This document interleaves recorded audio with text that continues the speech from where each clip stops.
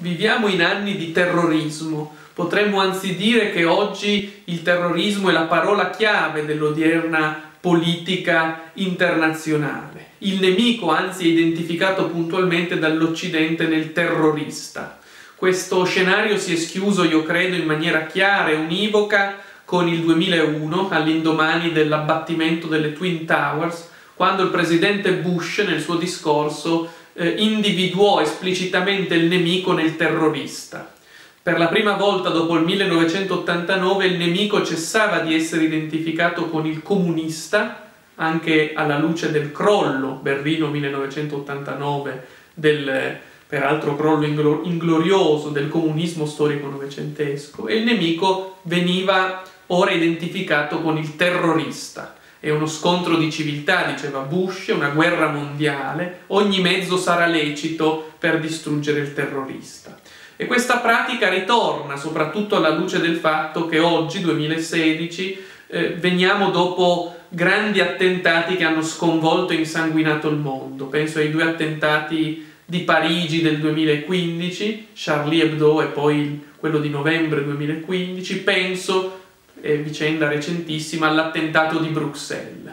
In qualche modo è difficile capire chi sia il terrorista, chi davvero si muova dietro questi terroristi che in fondo figurano sempre come pedine eterodirette. Chi è dietro questi soggetti? Quali organizzazioni? Quali interessi? Sicuramente, senza scadere nel più vieto complottismo, si può sostenere che a trarre giovamento dal terrorismo è ancora una volta sempre il potere. Il potere si giova del terrorismo, non sto qui dicendo che sia il potere a promuoverlo e a fomentarlo, dico sicuramente però che se ne giova, essenzialmente per diversi ordini di motivi, che qui telegraficamente eh, compendierò. In primis il potere si giova del terrorismo perché può operare quella che io chiamo la distrazione delle masse, o se vogliamo lo spostamento di prospettiva. Molto banalmente, con il terrorismo la contraddizione cessa di essere identificata nel fanatismo economico, nella finanza terroristica anch'essa, eh, o se preferite anche nelle forme di violenza economica coessenziali all'ordine neocapitalistico. Il nemico e la contraddizione diventano puntualmente il terrorista. Si parla solo di quello, di terrorismo peraltro indebitamente identificato con l'Islam. Il nemico è sempre solo l'altro rispetto all'Occidente a morfologia capitalistica. In secondo luogo, il potere si giova del terrorismo in ragione del fatto che può, per così dire, operare una forma di riavvicinamento delle voci critiche al mondialismo occidentalistico, presentando sempre di nuovo una linea divisoria fra l'Occidente buono e umanitario e il resto del mondo identificato con il terrorismo, di modo che anche le voci critiche alla fine si convincano della bontà del partito unico della produzione capitalistica, o se preferite dell'ordine mondiale occidentalistico presentato come pur sempre migliore rispetto al terrorismo identificato con tutte le altre civiltà che non siano quella del capitalismo dominante.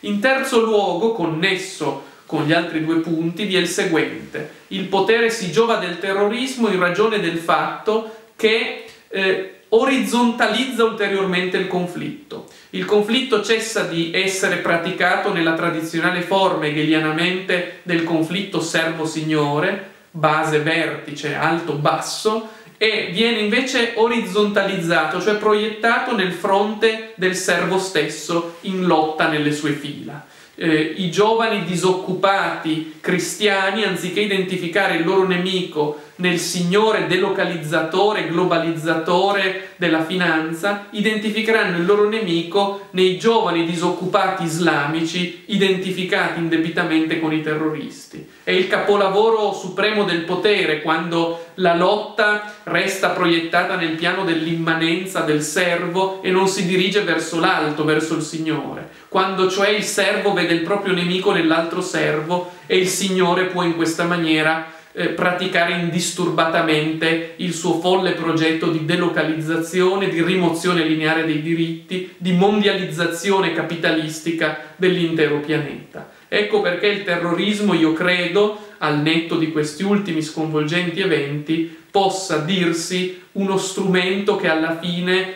va eh, tutto a vantaggio del potere stesso.